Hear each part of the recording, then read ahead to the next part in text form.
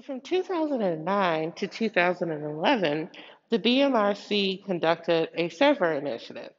And the goal was to go around the city of Chicago to many different institutions, libraries, private archives, museums, universities, to determine which collections they had that were actually relevant to Black experiences in Chicagoland.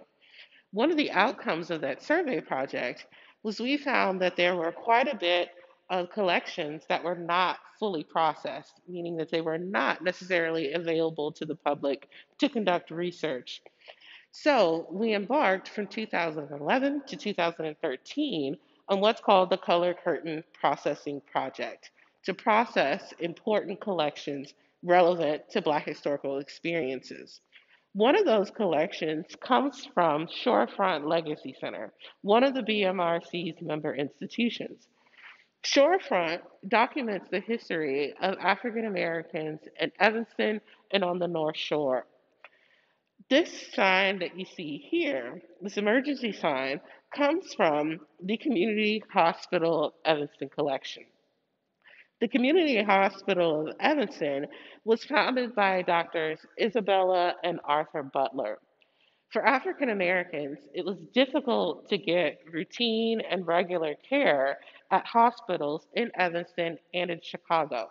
Most hospitals would only see African Americans for emergencies, and even then, they would often require that Black doctors would be admitted to the hospital for the specific purpose of treating those Black patients. In order to address this issue and to provide more regular, routine care for African Americans, the Butlers founded Community Hospital Evanston. Several times throughout its history, the hospital grew and relocated. This sign here comes from its former location at 2026 Brown Avenue in Evanston. What's really interesting about how this sign came into the possession of Shorefront Legacy Center is that a current board member of Shorefront got a call that the building at Brown Avenue was going to be demolished. And so immediately, folks are going to the site trying to recover whatever they can from this historic building. And this board member according to Dino Robinson, who's the founder of Shorefront, was able to literally yank this emergency sign from the building and take it as an artifact. Sadly, many of the records from the 2026 Brown uh, Avenue site are actually underneath the parking lot of that current building. And this again, I think, sort of underscores the importance of being able to document and preserve, um, but it also shows what work the Color Curtain Processing Project was able to do in ensuring that more people were going to have access to this collection and this really important collection documenting um, the history of Black medical facilities. So this case showcases some items from the Color Curtain Processing Project and specifically some of the key collections that were processed at our member institutions. The image that I have here was taken by Mildred Mead, who documented many of Chicago's urban renewal projects during the 1940s and the 1950s.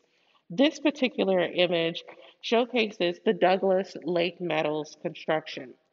Um, the building here in the forefront was some of the older more dilapidated housing that was raised in order to create these huge multi story buildings that would comprise the Lake Meadows construction. And the Lake Meadows construction was designed to really provide a space for middle class professionals working in the medical district and other families to move into this area. Now, urban renewal has a very controversial history. Part of it on the behalf of the city was about sort of getting rid of housing that was not necessarily seen as fit to live in. That this housing was considered slum housing, not having the proper sort of plumbing and water and spaces and things up to code. However, much of this housing existed within African American and poorer parts of the city. So, in getting rid of this housing and replacing it with newer housing, the concern was are you then making room for African Americans to continue to live in these parts of the city? So, urban renewal has this kind of very controversial history. But one of the reasons why I wanted to select this particular image is because it really does show you the contrast. And the Lake Meadows um, housing still exists to this day. It's about, I think, seven or 10 buildings. You can normally see them if you're driving up Lakeshore Drive. Um, and they still do exist as a mixed sort of income community that does still cater to a lot of medical professionals. Another item that we have here from a collection that was processed during the Color Curtain Processing Project comes from the collection of Dr. Christopher Reed, which is housed and cared for at Roosevelt University, one of our member institutions.